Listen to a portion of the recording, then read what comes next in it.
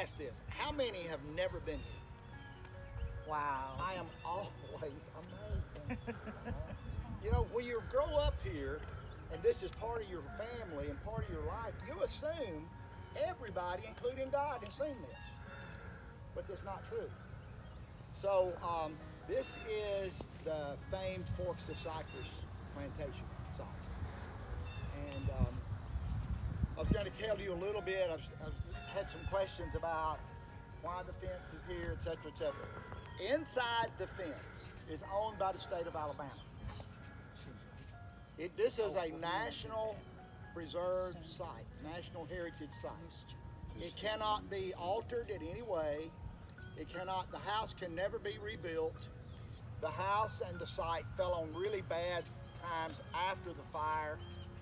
And the family members and I and others who are interested formed what was called the Forks of Cypress Preservation Committee and reached out to a family and relatives all over the country and some in Europe.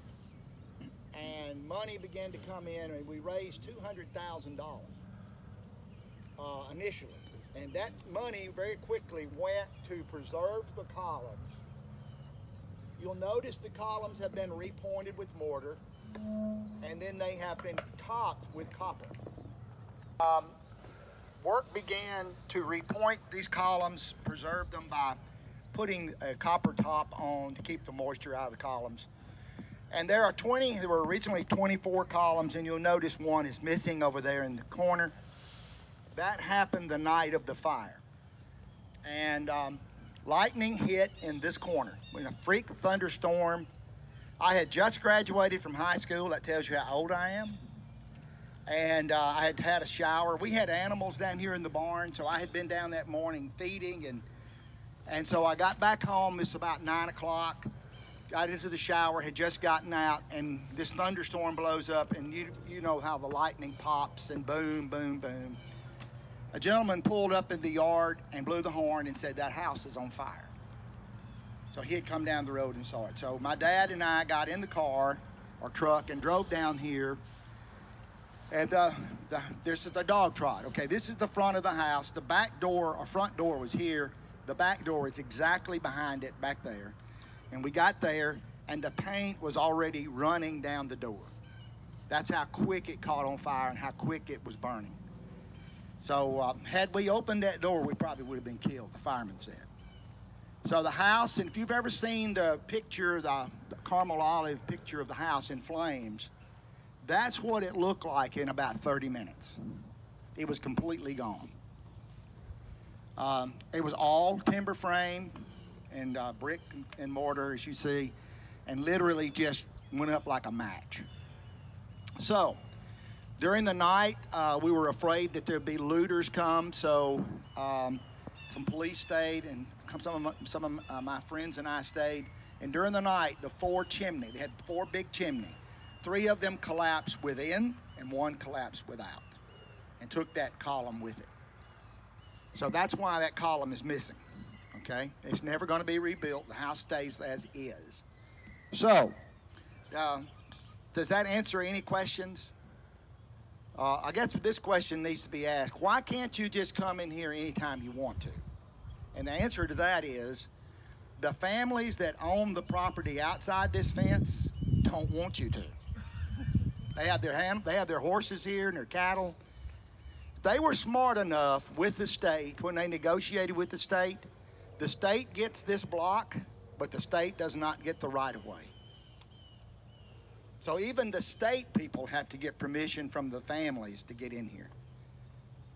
And even the state people don't have a key. So that's how it's been done, and that was pretty smart on their part to re, to regulate who comes in, who comes out. All right, so uh, does that, we have any questions about that? Anybody have any questions that needs to be about that? Why it's not wholesale open? We have two tours a year, uh, sponsored through the tourism. And then I have a class at UNA um, on local history, and sometimes we come here with the, the people in that class. In fact, I've uh, got a couple of students here tonight, today with us.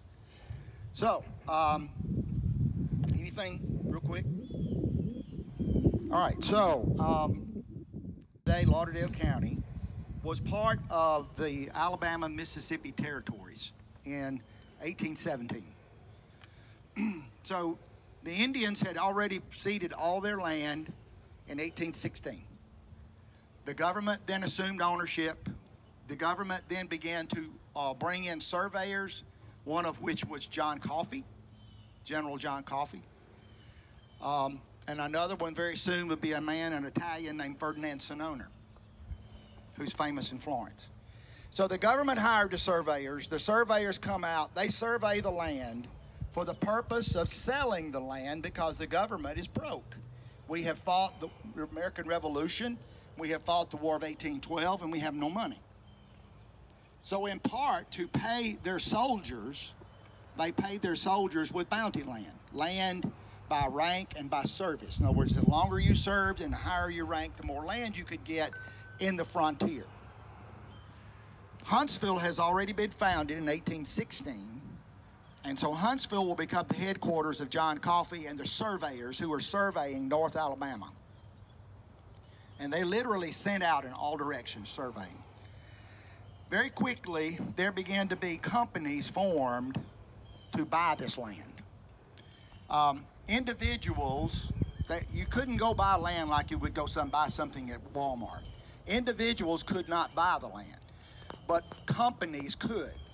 So the companies would buy the land from the government, and in turn, the companies would sell you the land. That's how it was going to work. So very, very quickly, men from Tennessee, of which James Jackson, the owner of this property, and John Coffee and others saw an opportunity. So they had formed a company called the Tennessee Land Company. Now, these land companies only had one purpose, and that's to buy land and sell it at a profit. That's it.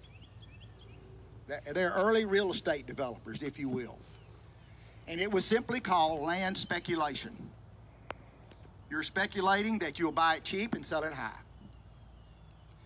An, uh, another company uh, that was founded in Huntsville was named the uh, Alabama Land Company. So all of this time, 1817, 1818, there began to be these companies popping up everywhere to take advantage of this open land, this new land, virgin land in Alabama territory.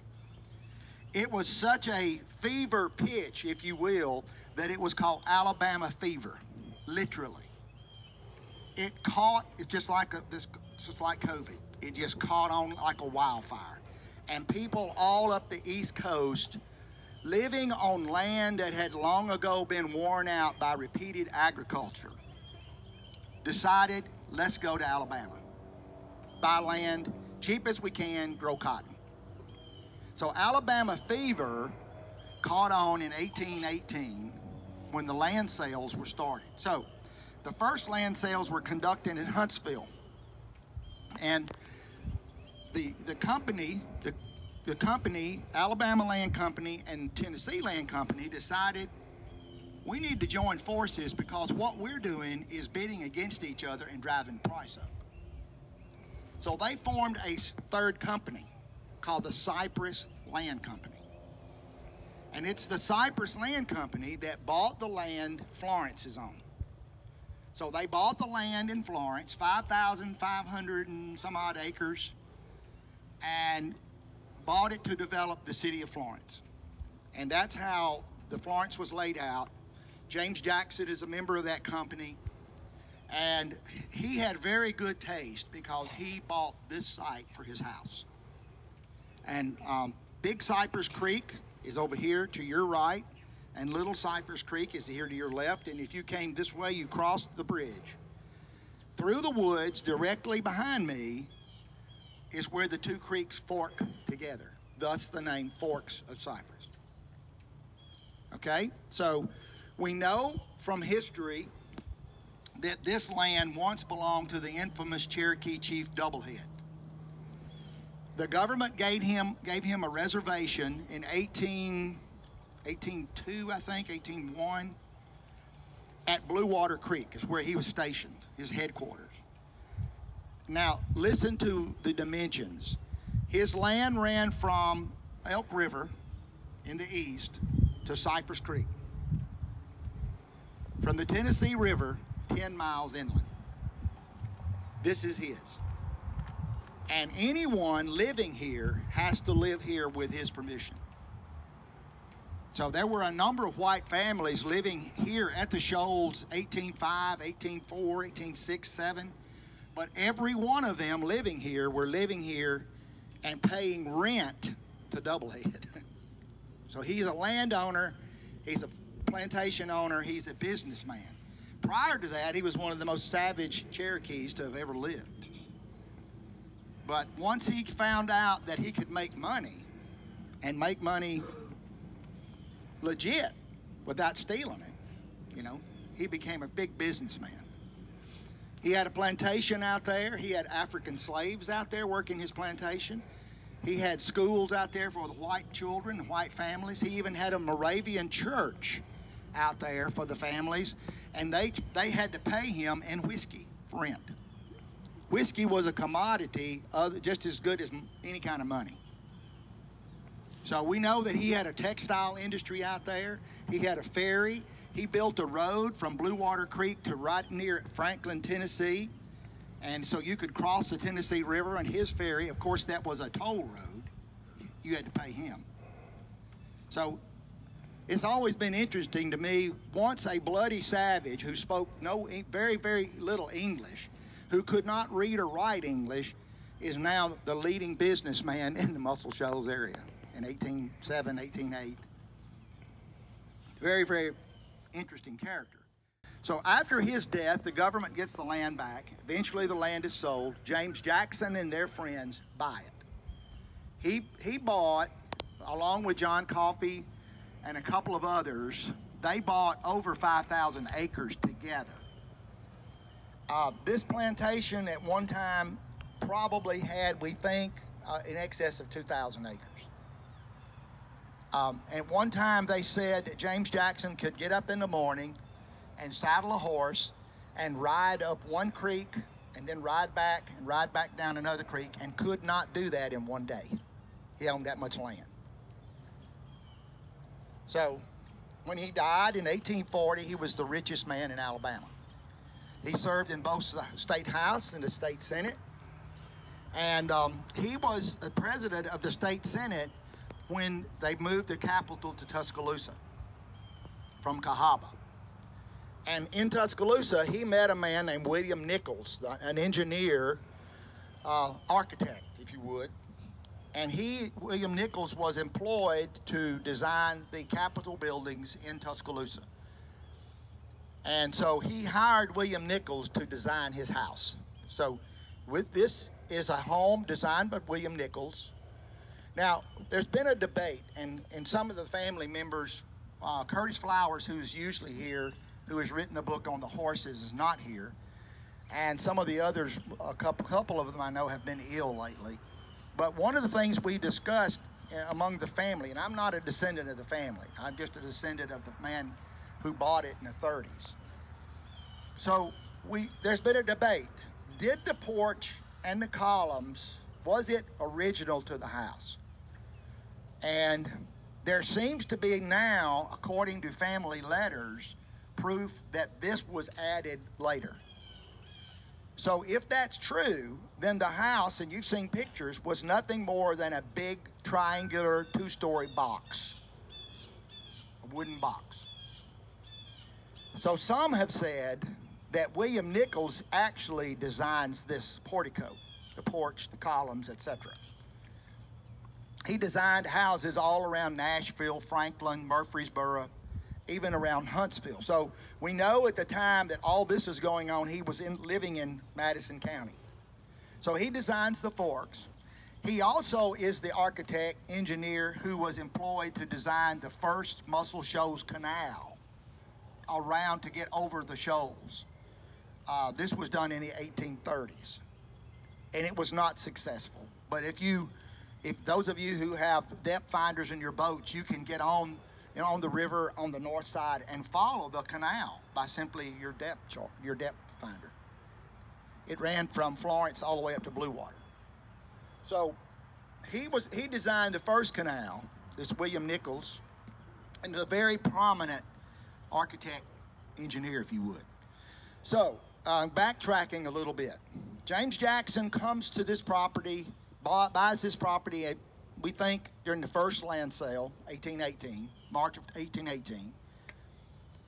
And the city of Florence is designed on paper in March of 1818. So it's, see, we're way over 200 years old. So uh, the city is. So he, when he comes here, he finds this cabin down here. If you come in, you came in down here, you'll notice there's a limestone chimney.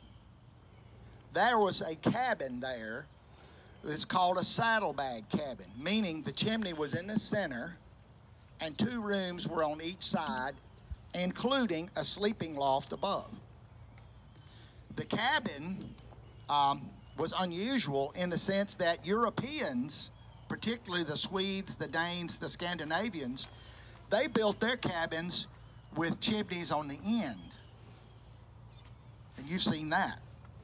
But when the first whites came into the Tennessee Valley, they wrote in their letters back home, the Cherokees are living in log houses with a chimney in the middle.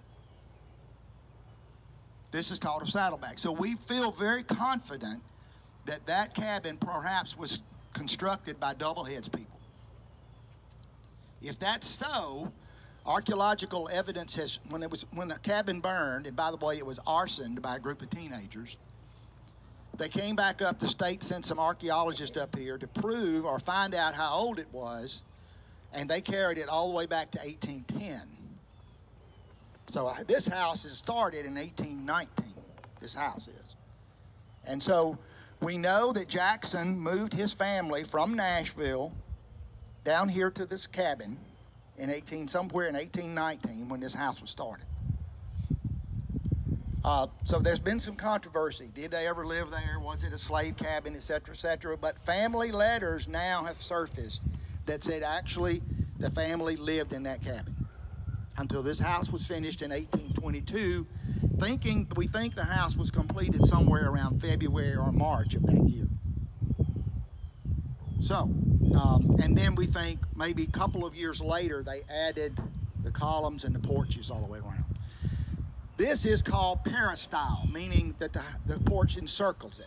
You have to go to Demopolis, and then you have to go to what they call Plantation Alley on the Mississippi River to find houses similar to this. We think this is the first house of this kind in the state of Alabama, what becomes the state of Alabama with this portico all the way around. Makes it a very stately house. Whereas if you just had the same the plain block wood house, it was, would not be the same appearance. All right, so this is the front. You came through a, a road down there, but straight down in that corn, like at the cornfield. This road you came up did not exist at that time. This was Jackson's Road. It went all the way from Florence across and hit what is today Savannah Highway. Then that was called Hood's Road. The Hood family lived in a plantation down on the Waterloo Road called Woodlawn. And um, if my class takes at UNA, we're going to do a plantation tour later, and that'll be one of the houses we will go to. So, um, and then right across the creek was Cypress Hill, another plantation that belonged to uh, other families. And by the way, John Coffee only lived about a mile through the woods right there. So Coffee, Jackson, um, I'm, I'm trying to come up with the name over here, I'll get it in a minute. And then Hood. So there are four major plantations within five miles of each other. And no one lives between them because they own all the land. They own big blocks of property, if you would. So we know that Jackson is here. His first child was a girl named Sarah, born here at the Forks, or on the property. He had he had originally come from Ireland, and he was the ninth child out of ten. And educated, he is not one of the Irish you've heard about in history of the potato famine. He's well educated at, in Dublin, and he is a civil engineer, which would be architect slash land surveyor, and um, comes to America. There's some there are there are some questions about why he comes, but The majority of the answer is one thing. In Europe, they had a law called the law of primogeniture. And the law of primogeniture simply said the oldest son gets the estate. So he's nine out of ten. The siblings, including the women, girls, got money to start a life. So Jackson's siblings, I know he had two uncles here in America. He had uh, three brothers here in America and a couple of sisters. We know that. Many of them settled in Philadelphia first. Then he migrated from Philadelphia to Baltimore, we think, for a while. And then from Baltimore, he settled in Nashville. Now, why Nashville? Nashville was the new town on the frontier, and it was a boom town. Trade was coming all up and down the, the Tennessee Valley and Cumberland River Valley. And so he fell in very quickly with a group of men who were considered the Southern aristocracy. These guys were wealthy landowners, slave owners, crop, cotton, etc., shipping all the way to New Orleans and back, of which James Jackson, uh, John Coffee was one, and Andrew Jackson, future President Jackson. So that's the kind of people he runs with. And it's interesting that from the very beginning, we think he and James, Andrew Jackson and James Jackson are not blood related as far as we know. Um, Andrew Jackson was born off on the North Carolina, South Carolina frontier, and James was born in Ireland. But they became somewhat business partners, but from the very start, they had different opinions about how to do things. And we are told from family letters that very quickly they kind of parted ways, not only politically, but economically. And here's a statement I read James Jackson had the Midas touch. You know what that means? Whatever he touched turned to money.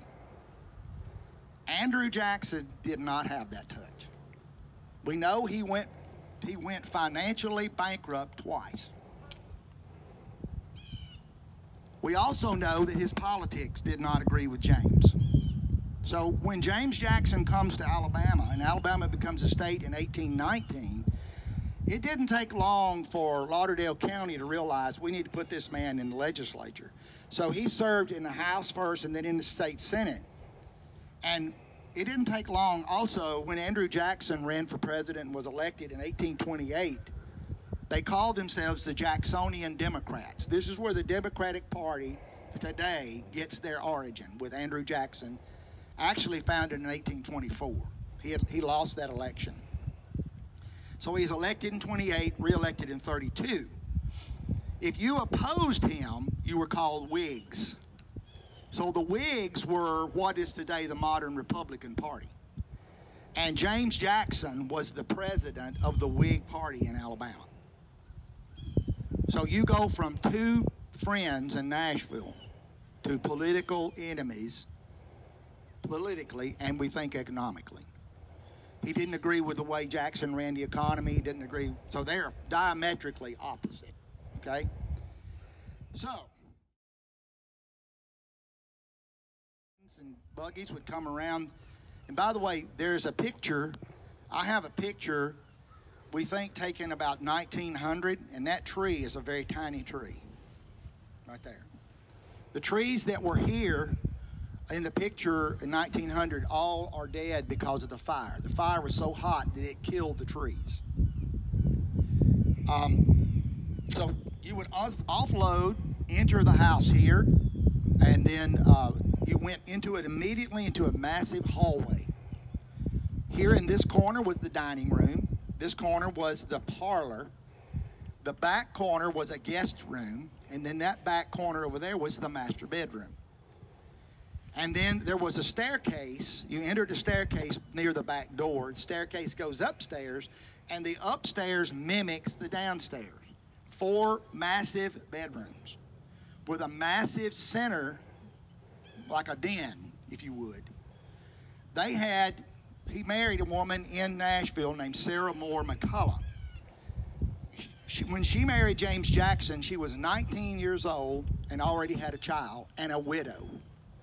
Her first husband had drowned in a land buying expedition and left her a widow and a young mother. So James Jackson adopts her daughter Elizabeth, then they will have nine more children, um, eight of which survived um, to, to full adulthood. And he adopts that daughter, and later that adopted daughter marries James Jackson's nephew, James Kirkman. So the house is resplendent for that time. You can imagine coming out here to a party or coming out here to a, a wedding. And you got to imagine um, how big this house was. In the bedrooms upstairs, when I was growing up here, my great uncle Rufus Dowdy owned it. And uh, my parents were kind of the keepers of the house because he lived and worked in Birmingham. He was an engineer and owned a he owned a civil engineering company. And so uh, plumbing and heating predominantly. And so he would only come up here maybe once a month. So he stayed in the master bedroom here. The rest of the house was just cold, you know, fireplaces. Uh, and you have never cut wood until you try to cut wood for this many fireplaces. Each room had a fireplace, and each fireplace consumed wood like an addict. You got to take that wood upstairs. I remember thinking, man, I don't want to do this. So the house was not heated as we would have it heated today. Um, but he did have power in it, had running, had bathrooms in it by that time. And um, it was used by our family for many, many occasions. You know, um, my, my, my aunt was not married here, but her reception was here. My mother said that my sisters would be married here. Of course, that was all ended by the fire. But this house would have been a major palace at that time, 1818, 1819. In one of the bedrooms, and um, the house was divided up in four bedrooms upstairs, my uncle had four poster beds. Four in each room. That's how big they were. And you could sleep. I know this because my sisters had little spend the night parties with their girlfriends. We had 20 girls in one room here one night. Because each bed had a trundle bed you could pull out and sleep another two or three in each bed. So this was a massive house uh, that probably saw a great deal of social activity. Um, and notice it's isolated. You're five miles from, or really about seven from downtown Florence. And this would have been isolated out here by itself. At the time the family owned the home, they had, um, according to, to records, uh, every year, every 10 years, the census was conducted. They also conducted a slave census. So we know at one time there were 120 plus African slaves here working this plantation. Also, we know that many of the the names of some of the slaves, like Coffee, there were some names here who we believe were intermarried with Jacksons and the Coffees, and then intermarried with the Hoods over here. Um, and I still haven't come up with that other name, and I will. This is a senior moment. I'll, I'll remember it tomorrow.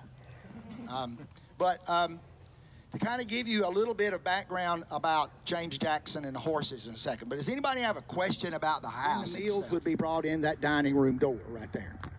Now, all of that was done because fires originated the most frequently in kitchens. So if you lost an outside kitchen, you could always rebuild it and not have to lose the house. So if you ever go to Monticello Jefferson's home, you ever go up to the Hermitage Jackson's home, all the kitchens were outside.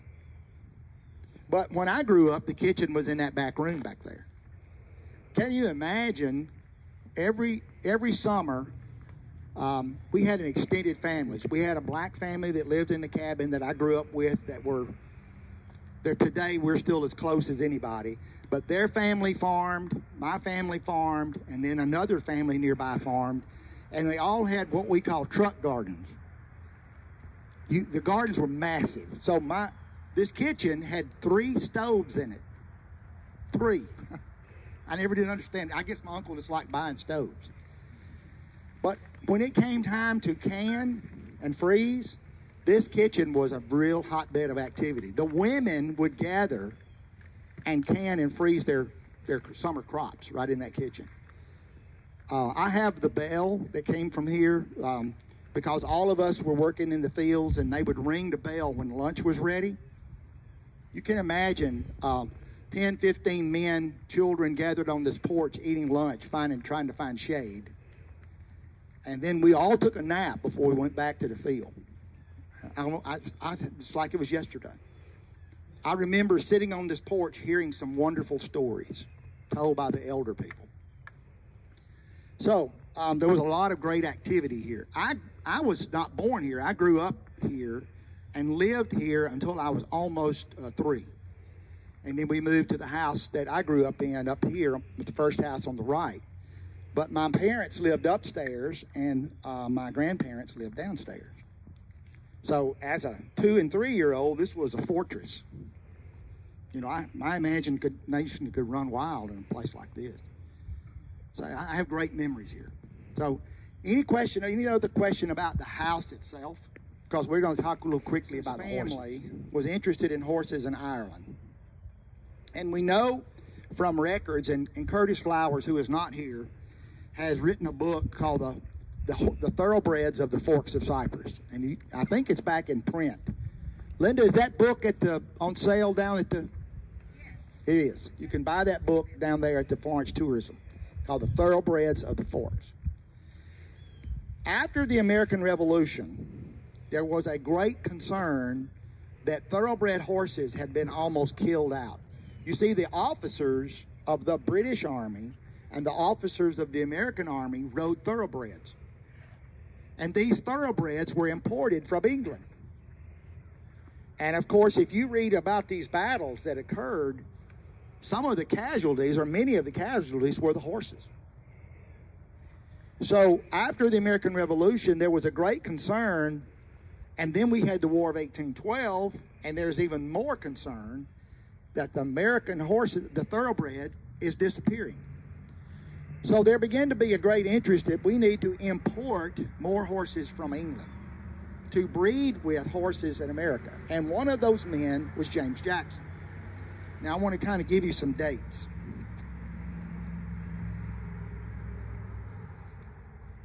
He brought his first horse um, named Abiger, a stallion, in 1828. So he's been in this house from 1822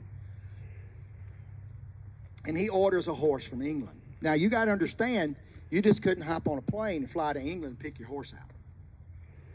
So they go through a series of businessmen, probably uh, men in Nashville, then maybe in New York, and then letters to London. This will take a great deal of time, but the horse was located, the bank transfers were done, and the horse came to New York.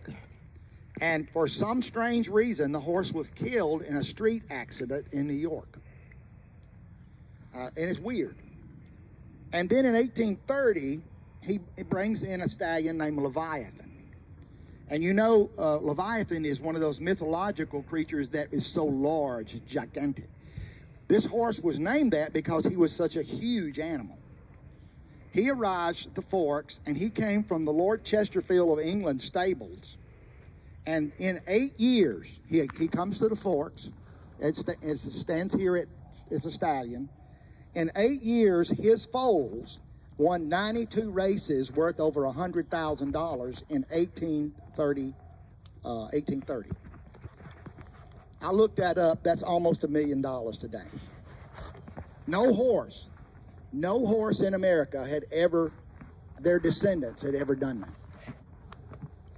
So by 1838, everybody in the South knows who this man is.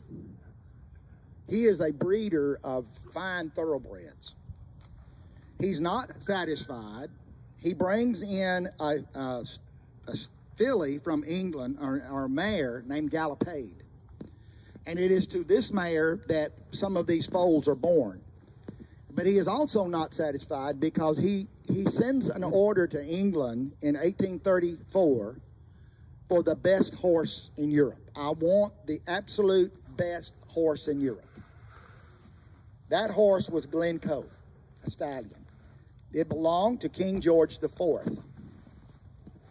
And so he purchased that horse. Get this, he purchases the horse unseen for $10,000 cash in 1835. I looked up this morning. The last time I looked it up, and because of inflation, this fluctuated. At one time, it was over 400,000 today, and today it says it's between 300 and 400,000. So this is what he spends on a horse that he never saw. It's brought here, and because he has friends and relatives in Nashville, and by the way, he has formed a partnership with his nephew, this Thomas Kirkman, and they are partners, equal partners in the horses. So Kirkman lives in Nashville, and the horse Leviathan stands and stud there.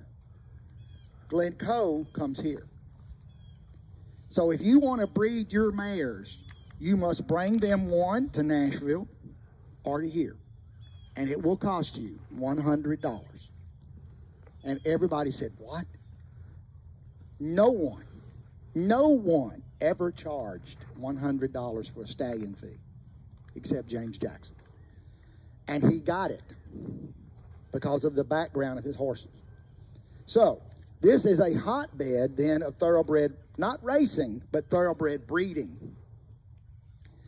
Many of you have heard, and many of you may have asked, we've heard there was a racetrack here. No, there was a training track here. And we think, I've read all my life, I've heard it was in these bottoms. And I'll tell you why I don't think it was in the bottoms. The state, by the way, that barn is not the original barn. That the original barn burned in the 30s. The original barn was two and a half times larger than that barn. And we think then the track would have been in that big field behind that went across that road that does not did not exist at that time in that large plateau. And that's where they would do their training. The races would be held in Memphis, which is already an established racing center, and Nashville. And also, there was a, you could, if you wanted to carry your horses, you could go to Charleston. So if you wanted big money, the match races, you had to go to those places. So, um, we know that Glencoe and I think this is very interesting. The National Thoroughbred Association, we keep all the records for thoroughbred horses, and by the way, that's housed in Louisville at Churchill Downs. And you, you ought to go because it's a pretty amazing place. But anyway, they they have done their history and they said the, the most important horses ever brought to America were four. Four horses. A stallion named Diomed, Leviathan, a mare named Gallopade, and a stallion named Glencoe. So out of all the horses ever brought to, from Europe to America, this man owned three of them. That's not a bad. That's not bad. So when it came time to be dominant in the horse breeding business, he's it. Now, to show you how powerful and how wealthy and how important he was, some of his friends in Nashville kept telling everybody that their horses were the best. They had a stallion named Lisboro.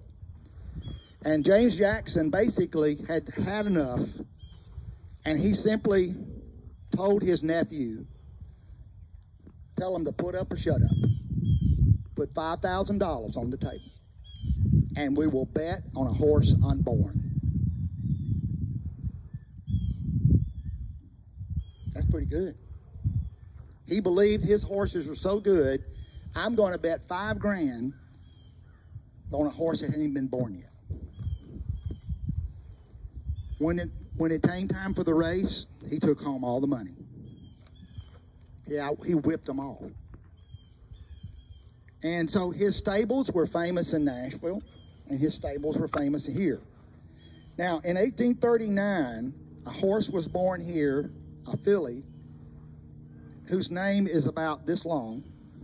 He named her for a place in Ireland, Giantess of Drumgolditch. I doubt, I don't even know if he could spell it. But anyway, she is sired here by Glencoe. Now, what is so important is this. From there began to be a, a it's kind of like the National Football Championship. There began to be this desire that somebody has to be the winner. So there began to be these races that matched horses of the North versus horses of the South. Now, in order to do that, to have the national championship, you got to have playoffs, right? So they would have races in the North and narrow it down to one. Then there would be races in the South, and then you would get one. And then you would meet, and the money would come on the table. We know from history that there were four such races, and the Southern horses won all four of them. And they quit doing it. But what's important is James Jackson saw this horse born and never saw her after that. He died in August of 1840. We think he died of complications of malaria and pneumonia. So he was born, I kind of give you, I didn't tell you, but he was born in Ireland, and he's only 54 years old when he died. So his nephew, the house and all the property goes to his widow. The nephew, who is his partner in horses, gets the horses. And according to the will, the horses had to be uh, sold by a certain time. So this wasn't going to go on, you know, indefinitely. They had to put the horses up and they would sell them off. In the meantime, this mare, this filly that was born here, won all the races of the Southern Championships in Nashville at Peytona Downs, a racetrack. So rather than keeping that long name, they simply named her Peytona. And then they would they matched her with a race. Oh, and by the way, when she won that race, won all those races to become the leading horse of the South, she won thirty thousand dollars, which is 1.1 million today. So this, you know, horse breeding was a big business. So we know that the match race is set for Long Island, New York. Now, how do you get your horse from Florence, Alabama? Well, she was in Nashville.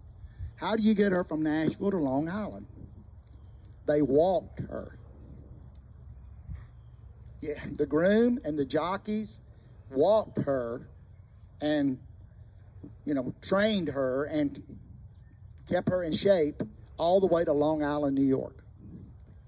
Now, um, she won the race against the horse of the north named Fashion. Over 100,000 people saw that race. The thoroughbred racing record said that's the largest crowd to see a thoroughbred race at that time in history.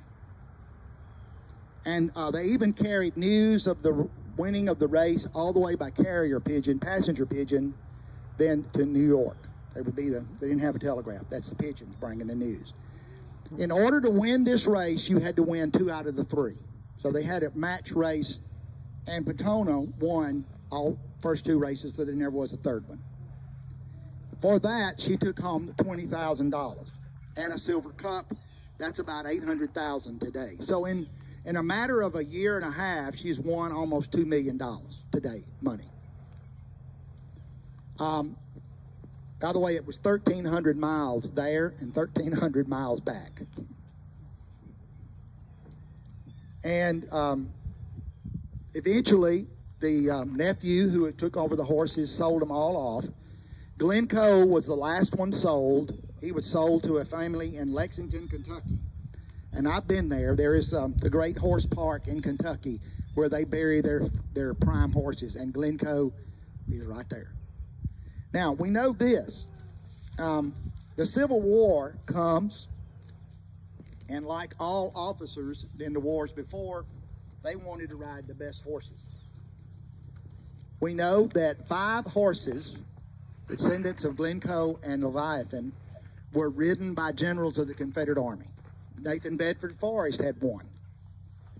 And General Mosby of um, the Gray Ghost, the famous Gray Ghost, had one and he was the son of Glencoe. So they also named him Glencoe. He was captured in battle and given to the Union General Philip Sheridan. And there is a portrait of Philip Sheridan on Glencoe hanging in today in the Pentagon. So we know the original Glencoe lived to be, um, about, I think they said he lived to be 24 years old. And I think I had read that he, he sired over 400 foals in his life here. So here's a statement that that uh, if Curtis was here, that she would make this statement. Every single thoroughbred racing today has DNA from here. Every, not not some, every single thoroughbred horse alive today has DNA from here. And you can trace it in Louisville. They have all the records. So, any questions? Oh, by the way, a horse named Man of War, horse named Seattle Slew, Secretariat, all come from here. They're the bloodline. The horses never go back here. They, of course, you know, um, during the Civil War, most of these horses wound up in Kentucky so they could be protected, and they have never come home.